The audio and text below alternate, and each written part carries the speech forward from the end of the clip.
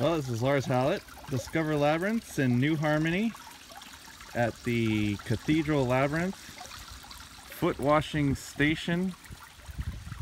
It is a beautiful, sunny, but uh, raining actually.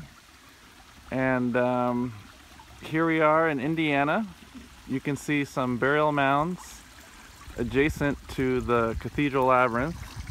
And there is a foot washing station here with uh, Solvitur Ambulando and the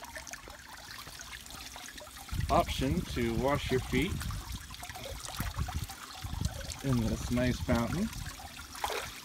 And then make some wet footprints towards the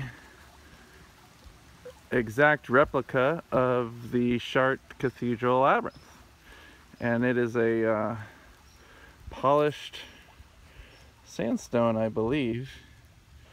And you can see that the pieces have been cut so that it is solid stone um, where just the lines have been polished and the pathway is raw. So you walk on the raw stone path and um, the lines are either reflective uh,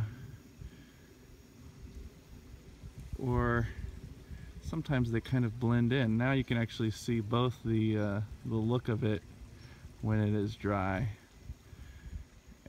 is wet. So I'm going to begin my walk here at sunset.